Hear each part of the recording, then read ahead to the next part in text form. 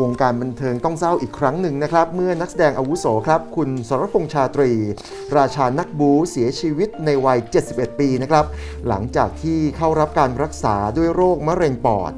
ซึ่งเมื่อราว 5 ปีก่อนครับ คุณอาสรพงศ์พบว่าป่วยเป็นมะเร็งปอด และได้รับการรักษาตัวมาโดยตลอดนะครับ กระทั่งเมื่อเดือนกุมภาพันธ์ที่ผ่านมานะครับ ได้มีการนำตัวส่งโรงพยาบาล เพราะมีอาการสำลักขณะที่ทานกล้วยน้ำว้า และต้องเข้ารับการรักษาตัวในห้อง ICU ก่อนที่จะเสียชีวิตในเวลา 15นาฬิกา51 นาทีของวันที่ 10 มีนาคมในวันนี้นะครับ ที่โรงพยาบาลบำรุงราษฎร์ครับ อโยทัศวรรณครับได้เปิดใจกับทางทีมข่าวของเรานะครับบอกส่วนตัวเพิ่งทราบ จากนักข่าวที่โทรมาถาม ยังไม่ได้คุยกับน้องขวัญลูกสาวนะครับเพราะเพิ่งจะทราบข่าว จริง ๆ นัดจะไปรับพี่สาวอาเอกสรพงศ์อยู่แล้ว เพื่อพาไปเยี่ยม ที่ผ่านมาตนยังไม่ได้ไปเยี่ยมนะครับ เพราะว่าเขาไม่ค่อยให้คนไปเยี่ยมด้วยสถานการณ์โควิดครับ ทางด้านของคุณพรพิมลนะครับ ได้เปิดใจหลังจากทราทราบข่าวการจากไปของคุณอาสรพงศ์นะครับ บอกว่ารู้สึกตกใจครับ ก่อนหน้านี้ได้มีการอัปเดตว่าอาการไม่น่าเป็นห่วงนะครับ ตอนนี้พูดอะไรไม่ออกครับเดินทางบ่อยแล้วก็เห็นว่าเออตอนช่วงหลังนี้ก็อยู่ในการดูแลของของหมออยู่แล้ว น่าจะทุกอย่างน่าจะดีขึ้น เพราะว่าการเอ่อการที่การก็อยู่ใกล้หมอนะ อยู่ใกล้หมอก็น่าจะดีขึ้น อ่าใช่หรือเปล่าก็ยังเร็วๆนี้ยังก็ยังดีๆอยู่อะเนาะแต่ว่าไม่ไม่รู้จะพูดยังไงดีเนาะก็เสียใจนะน้องนะร่วมงานทำละอ่าหนังเล่นหนังก็ยังสิบกว่าเรื่องอ่าระยะอ่าสิบกว่าเรื่องก็เรื่องอ่า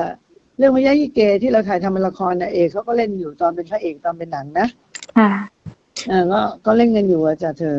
ค่ะ จริงๆหลังจากที่ร่วมงานกันมาแบบนาน แล้วก็หลายเรื่อง เป็นยังไงหลายเรื่องบ้เสือแบบภูว่า เขาก็เล่นทุกอย่าง เล่นกันหมดทุกอย่างหลายเรื่องเยอะมาก เพชรตะจบก็เล่นเล่นกันเกือบทุกเรื่องสิบกว่าเรื่องเล่นกันอยู่กับบริษัทนะ ค่ะอ่าแล้วก็สนิทกัน ก็แลดูว่า คุณเอกก็เป็นคนน่ารัก คนดีอยู่แล้วแหละ คือ คือก็อยากให้เขาหาย อยากให้เขามีชีวิตอยู่ เพราะเขาเป็นคน คนของสังคมอะเนาะ ทุกคนก็รู้จักเขา เพราะสรพงษ์ชาตรี เราก็ไม่อยากให้เขา ไปเร็ว ต้องต้อง แต่พอรู้เนี่ย มันหนีไม่ได้ก็เสียใจนะก็ไม่รู้จะพูดยังไงดี นอกเหนือจาก จากนี้อย่างนู้นน้องนะก็ต้องรอว่ามีอะไรที่ให้เรา เอ่อได้ได้ร่วมอะไรบ้าง ช่วยเหลืออะไรกันบ้าง เท่านั้นเอง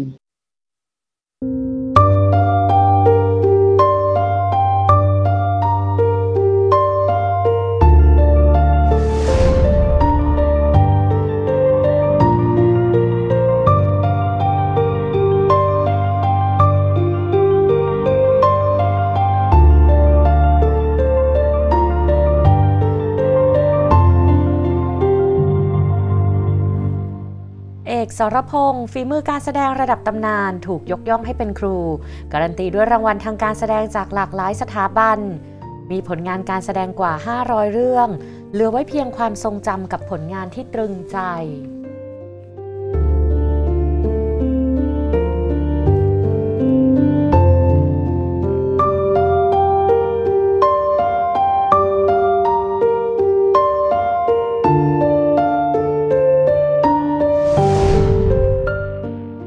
พงษ์ชาตรีเกิดวันที่ 8 ธันวาคม พุทธศักราช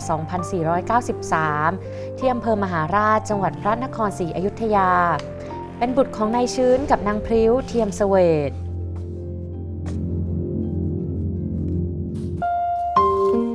สรพงษ์ชาตรีมีบุตร 4 คนคือ พิมพ์อับสร ขวัญ พิสุทธินีเอิง พิศรุตเอม และพิทกฤษเทียมเสวตอ้ำ ซึ่งพิมพ์อับสรบุตรคนแรกเกิดกับอโยทัศวรรณเสนีวงศ์ส่วนบุตรคนที่2ถึง4เกิดกับพิมพ์จันทร์ใจวงหรือแอด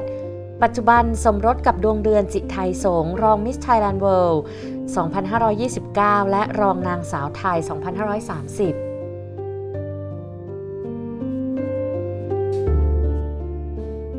จบการศึกษาชั้นป .4 แล้วบวชเรียนตั้งแต่อายุ 8 ปีที่วัดเทพสุวรรณ พระนครศรีอยุธยา และวัดดาวดึงบางยี่ขันธนบุรี จนกระทั่งลาสิกขาบทเมื่อปี 2512 และในปี 2552 ได้รับปริญญาดุษฎีบัณฑิตกิติมศักดิ์ศิลปศาสตร์ สาขา สังคมศาสตร์ เพื่อการพัฒนาจากมหาวิทยาลัยราชพัฒนครราชสีมา ชื่อสรพงษ์ชาตรีที่ใช้ในการแสดงผู้ตั้งให้คือ พระเจ้าวรวงเธอ พระองค์เจ้าอนุสรมงคลการ และหม่อมอุบลยุคนณอยุธยา โดยคำว่าสอนมาจากอนุสรมงคลการ พงมาจากสุรพงษ์โปร่งมณี ผู้ที่พามาฝากตัวกับหม่อมเจ้าชาตรีเฉลิม และชาตรีเฉลิมก็มาจากชาตรีและชาตรีก็มาจากชาตรีเฉลิมนั่นเอง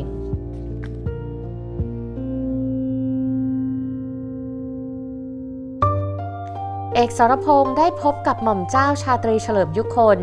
ซึ่งชักชวนให้มาอาศัยอยู่ที่วังละโว ของพระเจ้าวรวงเธอพระองค์เจ้าอนุสรมงคลการ และเริ่มงานแสดงครั้งแรกเป็นตัวประกอบ และเด็กยกของในกองถ่ายละครเรื่อง นางไพรตานีฉายทางช่องเจ็ดห้องสีชมพู และหมอผี ซึ่งหม่อมเจ้าชาตรีเฉลิมยุคนเป็นผู้กำกับมีผลงานภาพยนตร์เรื่องแรกเป็นตัวประกอบเรื่องสอยดาวสาวเดือน จากนั้นเรื่องที่สองต้อยติ่ง ทั้งสองเรื่องนี้ไม่มีบทพูดออกมาแค่ฉากเดียว เรื่องที่สามฟ้าขนองเริ่มมีบทพูด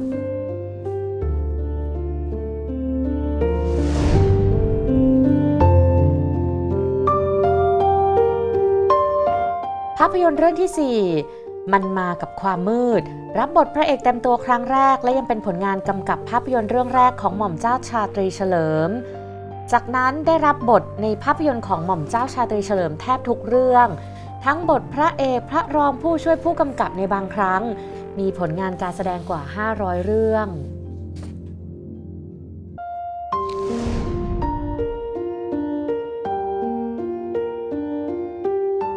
ได้รับรางวัลตุ๊กตาทองครั้งแรกจากเรื่องชีวิตบัตรซบและสัตว์มนุษย์